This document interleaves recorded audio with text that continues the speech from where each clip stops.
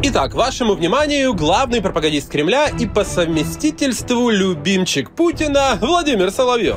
Сноватый ты, чертила, бесноватый. Соловьев, который непреклонно поддерживает Путина, использует свою телевизионную платформу для распространения пропаганды и дезинформации, разработанной российскими властями уровень поддержки Путина невозможно сравнить с уровнем поддержки ни одного лидера так называемых вот этих 50 кретинов, объединившихся в войне с Россией. На этот раз неуравновешенный ведущий выступил с новыми безумными идеями. Соловьев заявил, что он бы не только хотел захватить украинские города, но и стереть их с лица земли. Я вам скажу, после вот сегодняшнего злодеяния я бы стер с лица земли Одессу, Николаев, Харьков и Киев. Такую реакцию у пропагандиста вызвали успешные операции сил обороны Украины во время на оккупированном Крыму. Я дал бы три дня жителям, чтобы покинуть эти города. Три дня. После чего нанес удары. Потому что именно с Одессы и Николаева наносятся удары по Крыму. Именно из Харькова используют как базу, наносятся удары по Белгороду. И именно Киев является тем центром, где принимаются все решения. На этом Володенька не остановился и, конечно же, стал традиционно угрожать Западу. Но, впрочем, все как всегда, этот пункт в его сценарии прописан на веки вечные. Каждый подарунок, который летит на территорию Российской Федерации, летит из Британии, ну, то есть британская ракета, по Лондону. Тут же шарахнуть по Лондону в ответ. Французским запустили, по Парижу захреначить, чтобы знали сволочи. Ну, про Германию вообще не надо говорить. Стереть с лица земли.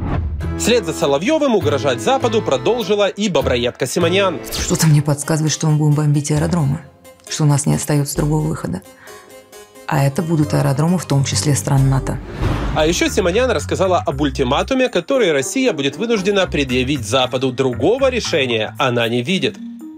И что дальше? Чему нас это приближает? К тому, о чем я толдычу, что мы дойдем до ядерного ультиматума. Ничего не изменится. Изменится только тогда, когда они поймут, что через 15 секунд вот такая вот бомба, только не атомс, атакамс, вот никак не могу научиться его произносить, атакамс, не такая бомба, а совсем другая бомба, полетит на их пляже, на их Кейп-Кот, в их Майами, в их Калифорнию, вот тогда все это становится. Загорелая Марго. Это называется верой и правдой, но без здравого смысла служить российскому диктатору и распространять его нарративы. Но все приближается с каждым таким пляжем, с каждой такой изуверской выходкой и с каждым поставленным самолетом F-16 время, точка невозврата и время ультиматума приближается. Вот увидите. А вот еще одна полоумная. Уроженка Одессы Витязева рассказывает, как ей жалко архитектуру в Одессе, но не жалко живущих там людей, поэтому город должен стать безлюдным. Не жалко архитектуру. Да, мне жалко знакомые из детства вот эту булыжную мостовую, мосты и мостики, набережные. Вот если бы вот, вот мне сейчас сказали, поехать, хочешь в Одессу, я бы сказала, да. При Мосты одном жалко, условии, булыжники людей. При одном условии, что Одесса будет пустая. А вот еще один пророк. Депутат Госдумы Матвейчев в каком-то из интервью рассказывает, что все будут подчиняться России.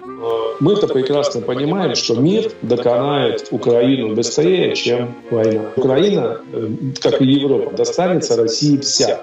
Просто через какое-то время. Они все равно все рухнут, они все равно надорвутся.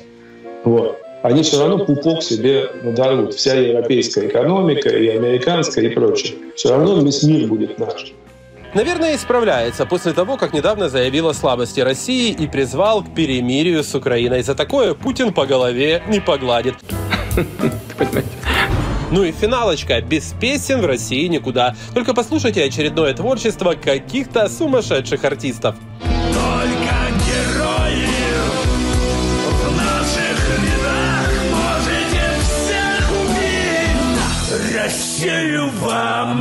Победить. Как-то так в последние дни у пропагандистов с безумными историями на благо бункерному ждем очередную порцию новых историй кремлевских слуг.